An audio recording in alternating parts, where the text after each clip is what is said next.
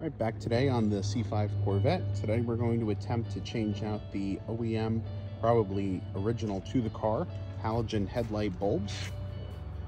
Right now they're really dim at light, of course, and you can't really see them that well, so I picked up a set of LED bulbs from VetteLights from their 4th of July sale. So we're going to get those swapped in here, and I'm going to try to document the process the best that I can. do here is there's going to be Phillips head screws for the headlight bezel. There's going to be one here, and then there's also going to be two on this side, one here, and then one back there as well. So we're going to get this unscrewed and pull off the bezel.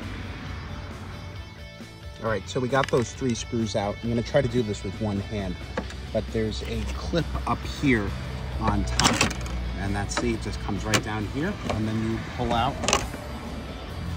the plastic bezel right here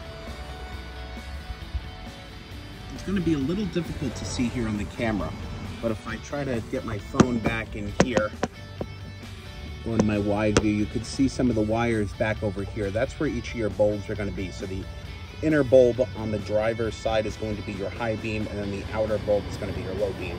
It's just simply twisting it out and pulling out each of the bulbs, and then we're going to try to put the new ones back in from VetteLights. Try not to touch the actual glass of them themselves. They're good spares just in case you need them um, just put them in a safe spot or discard them as per your local regulations. So we're gonna get the LEDs installed down the driver's side.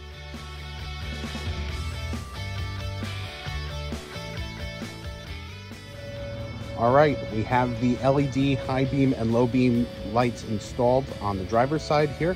Quick little comparison, you could definitely tell that the white is more light. We'll pan over here to the passenger side where it's definitely a yellow tint halogen, the old school style of bulbs from the GM early 90s uh, through the 2000s. What a difference there. I mean, it's still light out where I am. It's probably about uh, four o'clock in the afternoon here, but even then so, you could definitely tell the difference here. Uh, again, what we did here for the driver's side is we removed the plastic bezel, the three screws on the driver's side and passenger side here for this specific light, same as it goes on the passenger side there.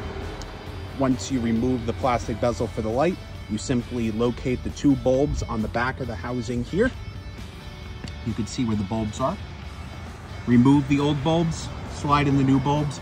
The low beam light definitely screwed in a little bit easier for me than the high beam light, but that also might be user error. But so far, I'm really happy. We're gonna go to the other side here. Uh, if you have any questions for me, please drop them in the comments section below. But definitely recommend these bulbs. Again, these LEDs are from VetteLights. Also, a popular upgrade is the KnightDriveTV low-rise headlights. I highly recommend those as well. I had them on my old C5, um, but just wanted to try these out on here. So, happy lighting.